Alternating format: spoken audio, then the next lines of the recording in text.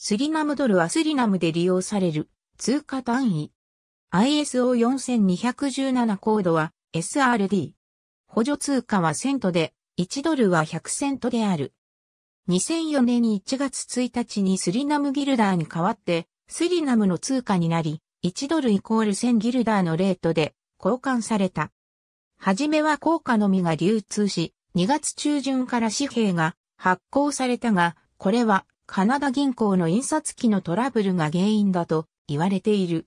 以前のセントは額面通りの価値を持ち両替の必要はないと宣言された。このため、例えば昔の25セント硬貨は40分の1ドルの価値しかなかったが、これ以降は4分の1ドルの価値を持つようになった。ISO4217 の改正121では、スリナムギルダーの SRG に代わって SRD のコードを割り当てている。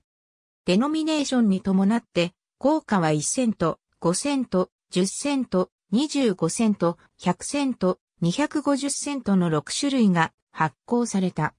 以前の通貨の効果も通用する。2004年、政府は1ドルと2.5ドル紙幣を、スリナム中央銀行は5ドル、10ドル、20ドル、50ドル、100ドル紙幣を発行した。ありがとうございます。